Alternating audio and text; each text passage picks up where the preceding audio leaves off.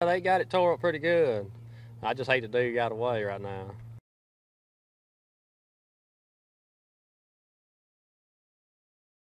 Yeah, I was going to look at this uh, property down in off McDowell and Terry Road and hopped out of the car for just a second and I turned around and they were taking off with it. Just keep your head on a swivel and make sure you lock everything when you get out, even if it's just for a second.